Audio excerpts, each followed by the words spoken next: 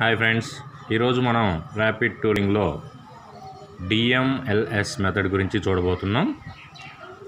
ఈ డిఎంఎల్ఎస్ అంటే direct metal laser sintering okay ఇక్కడ మనం ఇంతకుముందు మనం చూసినట్టుగా స్టీరియోలిథియోగ్రఫీ ఎట్లాగైతే ప్రాసెస్ చూసామో అదేవిధంగా ఇక్కడ లేజర్ సినిటరింగ్ ప్రాసెస్ అనేది యూస్ చేస్తాం.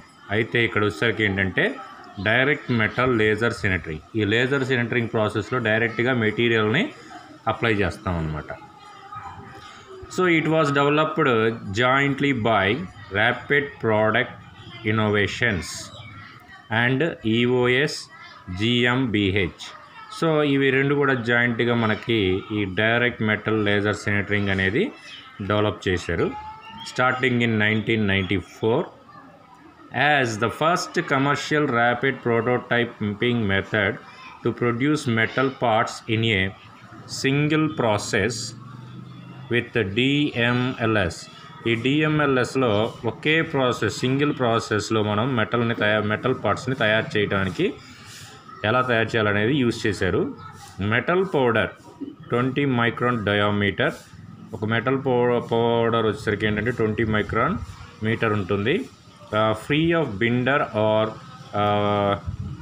fluxing agent ఇది వచ్చేసరికి ఏంటంటే ఇది ఒక fluxing agent okay is completely melted by the scanning free of binder or fluxing agent is completely method by the scanning of a high power laser beam high power laser beam to build the part with properties of the original material.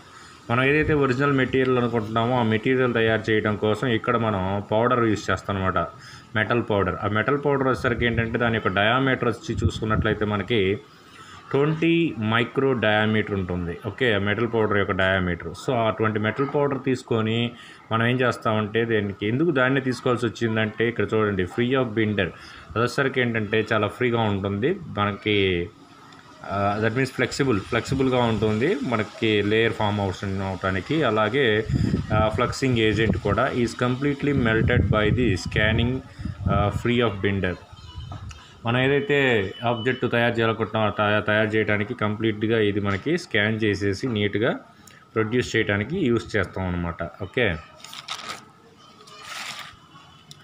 Eliminating the polymer binder avoids the burn off and ఇన్ఫిల్ట్రే infiltration steps ఇక్కడ వచ్చేసరికి ఏంటంటే main thing ఏంటంటే ఈ polymer బెండర్ని మనం burn చేయటం ఆ తర్వాత infiltration అంటే చొచ్చుకుపోయేటట్టు చేయటం ఇటువంటివన్నీ కూడా మనం ఇక్కడ ఎలిమినేట్ చేస్తాం అనమాట ఈ ప్రాసెస్ వల్ల okay?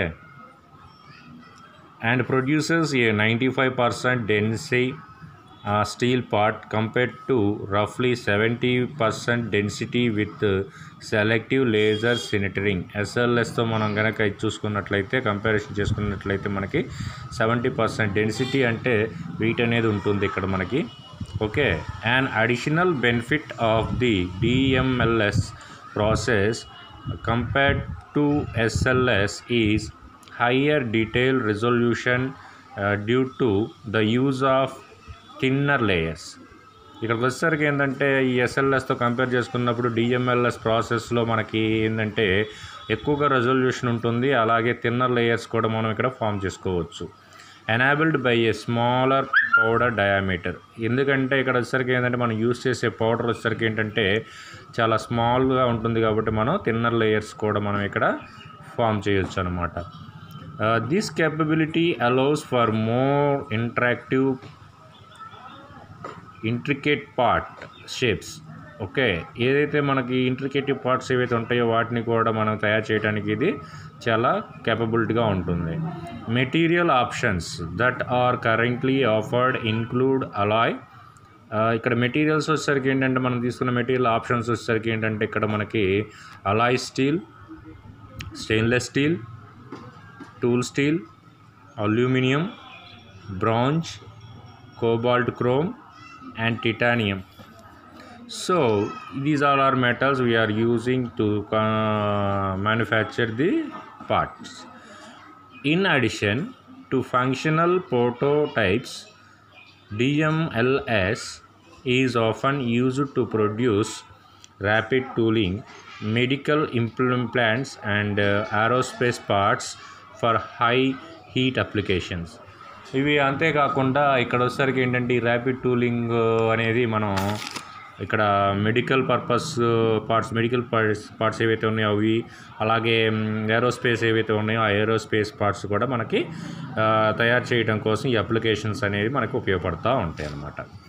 ఓకే ఇక మనం డిఎంఎల్ఎస్ ప్రాసెస్ కనుక చూసుకున్నట్లయితే ఇక్కడ the DMLS process can be performed by two different methods ఇక్కడ ఈ డిఎంఎల్ఎస్ ప్రాసెస్ కనుక చూసుకున్నట్టయితే రెండు రకాలైన మెథడ్స్లో మనకి ఇది తయారు చేయొచ్చు. ఆ, ఒకటి చూసుకున్నట్లయితే ఇక్కడ మరి powder deposition and powder bed ఈ టూ టైప్స్ ఉన్నాయండి ఇక్కడ powder deposition and powder bed so రెండు రకాలుగా మనం తయారు చేయొచ్చు which differs in the way each layer of powder is applied అది కూడా మనం ఎలా డిఫైన్ చేసుకుంటాం అంటే ఆ లేయర్ పౌడర్ లేయర్ అనేది ఎలా ఫామ్ అవుతుందో దాన్ని బట్టి మనం ఈ రెండిట్లో ఏదో ఒకటి సెలెక్ట్ చేసుకోవచ్చు. In the powder deposition method for example in powder deposition method the metal powder is contained in a hopper that melts the powder and deposits a thin layer on to the build platform ఇక్కడ వచ్చేసరికి ఏంటంటే మనం ఇక్కడ చూసుకున్నట్లయితే ఈ metal powder అంటే ఇక్కడ powder deposition ఉంది కదా ఈ పౌడర్ డిపోజిషన్ మెథడ్లో వచ్చేసరికి ఏంటంటే ఈ మెటల్ పౌడర్ని ఏం చేస్తామంటే హోపర్ హోపర్లో వేసి దాన్ని ఫుల్గా హీట్ చేస్తాం అనమాట హీట్ చేసిన తర్వాత హోపర్లో నుంచి వచ్చే లేయర్ని మనం ఇక్కడ తీసేసుకొని దాన్ని ప్లాట్ఫామ్ పైన లేయర్ బై లేయర్ మనం ఫామ్ చేస్తూ ఉంటాం. ఈ టైప్ ఆఫ్ దిస్ ఇది. ఆ విధంగా మనం తయారు చేసే పార్ట్ని డిపోజిషన్ మెథడ్ అంటాం. పౌడర్ డిపోజిషన్ మెథడ్ అంటాం. ఇక పౌడర్ బెడ్ అనేది చూసుకున్నట్లయితే ఇక్కడ in the powder bed method shown below అంటే ఇక్కడ the powder dispenser piston raises the powder supply and then a recoated arm distributes a layer of powder on to the powder bed. ఇక్కడ చూసుకున్నట్లయితే మనం ఈ picture కనుక గమనించినట్లయితే ఇది DMLS మెథడ్స్లో పౌడర్ బెడ్ టైప్ అండి. సో ఈ పౌడర్ బెడ్ టైప్లో మనం చూసుకున్నట్లయితే ఇక్కడ టూ పిస్టన్స్ ఉన్నాయి. ఇక్కడ మనం గమనించినట్లయితే టూ పిస్టన్స్ ఉన్నాయి ఇక్కడ. సో ఈ పిస్టన్ వన్ వచ్చేసరికి ఏంటంటే పౌడర్ డిపోజ్ డిస్పెన్సర్ పిస్టన్. ఈ పిస్టన్ ఎప్పుడైతే రేజ్ అవుతుందో మనకి ఈ పౌడర్ వచ్చేసరికి ఏంటంటే పైకి ఇది అవుతూ ఉంటుందన్నమాట. ఎప్పుడైతే పైకి పౌడర్ వచ్చిందో ఇక్కడ రియాక్టర్ ఆమ్ అనేది ఒకటి ఉంటుంది. ఈ రియాక్టర్ ఆమ్ తోటి ఇక్కడ చూడండి మనం దీన్ని కనుక ఫార్వర్డ్ డైరెక్షన్ ఇచ్చారు చూసారా? ఈ డైరెక్షన్లో మనం ఇలా మూవ్ అవుతూ ఉంటే ఇది చూడండి పౌడర్ ఇలా బయటకు వస్తూ ఉంటుంది. సో ఈ విధంగా మనం పౌడర్ని మనం అడ్జస్ట్ చేసేసుకొని ప్లాట్ఫామ్గా తయారు చేయొచ్చు. ఓకే? నెక్స్ట్ కన్స్ట్రక్షన్లో మనం చూసుకున్నట్లయితే ఇక్కడ పౌడర్ డిస్పెన్సర్ ప్లాట్ఫామ్ ఇది వచ్చేసరికి ఏంటంటే టోటల్గా powder dispenser platform okay?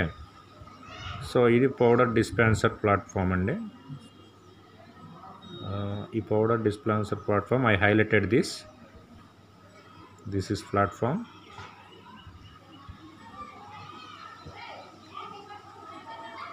అలాగే మనకి ఇక్కడ కూడా ఒక ప్లాట్ఫామ్ ఉంది. దీన్ని కూడా నేను హైలైట్ చేస్తున్నాను.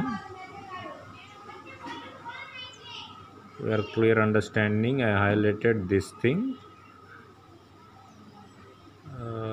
now look at the ear on this platform having powder okay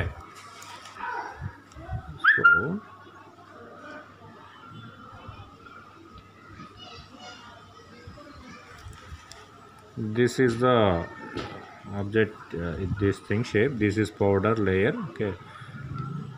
This entirely powder okay.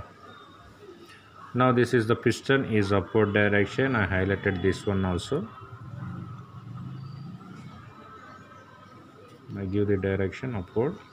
And now this is also another piston here this is called build piston అంటే మనం మెటీరియల్ ఏదైతే తయారు చేయాలనుకుంటున్నామో మౌల్డ్ చేయాలనుకుంటున్నామో ఆ mould part అనేది ఇక్కడ తయారవుతూ ఉంటుంది. అప్పుడు ది పిస్టన్ మోషన్ వచ్చేసరికి ఏంటంటే మనకి డౌన్వర్డ్ మోషన్స్లో ఉంటుందన్నమాట. ఇక్కడ టూ ప్లాట్ఫామ్స్ ఉన్నాయండి. ఫస్ట్ ప్లాట్ఫామ్ వచ్చేసరికి ఏంటంటే powder dispenser platform and next one is build part build flat platform so ఈ సెటప్ అంతా కూడా మనం లేజర్ సెనేటరింగ్లో మనం చూసాం ఆల్రెడీ ఓకే ఇన్ ఇయర్ చూసుకున్నట్లయితే అయితే దీంట్లో మనకి స్పెషల్గా ఉంది ఏంటంటే రీకోటర్ ఆమ్. సో ఈ రీకోటర్ ఆమ్ అనేది యూస్ చేసి మనం పౌడర్ని మొత్తం కూడా పాట్ తయారు చేసే ముందు మొత్తం అడ్జస్ట్ చేసుకుంటూ ఉంటాం అనమాట ఇక్కడ లేజర్ ఉంది. ఇక్కడ లేజర్ నుంచి లెన్సెస్. ఇవి రెండు కూడా మనకి లెన్సెస్. సో ఈ లెన్సెస్ ద్వారా మనకి పిక్చర్ అనేది ఇక్కడ ప్రొజెక్ట్ అవుతూ ఉంటుంది. మనకి ఏదైతే పిక్చర్ ప్రొజెక్ట్ అవుతుందో ఆ ప్రొజెక్ట్ అయిన పిక్చర్ ప్రకారం ఇది లేజర్. బీమ్. సో ఈ లేజర్ బీమ్ అనేది X Y scanning mirror so ఇది ఎక్స్ వై స్కానింగ్ అంటే ఎక్స్ వై డైరెక్షన్లో ఇది స్కాన్ చేస్తూ ఉంటుంది. On the same time the build question వచ్చేసరికి ఏంటంటే కిందికి మూవ్ అవుతా మనకి ఏంటంటే ఆబ్జెక్ట్ అనేది layer by layer layer by layer form అవుతూ పైకి రెడీ అవుతూ ఉంటుంది అనమాట so this is powder bed okay and now here ఇక్కడ మనం పౌడర్ అనేది సప్లై చేస్తామండి okay this is called laser beam okay so here we said already uh, ra- piston raises the powder supply and uh, then a recoated arm uh, distributes a layer of powder on to the powder bed ఇక్కడ powder bed పైన మనకి ఏంటంటే రికోటర్ ఆమ్ అంటే మనకి adjust చేస్తుందని చెప్తున్నారు తర్వాత a laser then sinters the layer of powder metal in both methods okay after a layer is build the build piston lowers the build platform and the next layer of powder is applied ఎప్పుడైతే మనం first ఇది మొత్తం set చేసిన తర్వాత ఈ laser ద్వారా మనం ఒక లేయర్ ఫామ్ చేసాం ఫస్ట్ లేయరు అప్పుడు ఆటోమేటిక్గా ఈ పిస్టన్ ఏం అవుతుందంటే కిందికి మూవ్ అవుతుంది.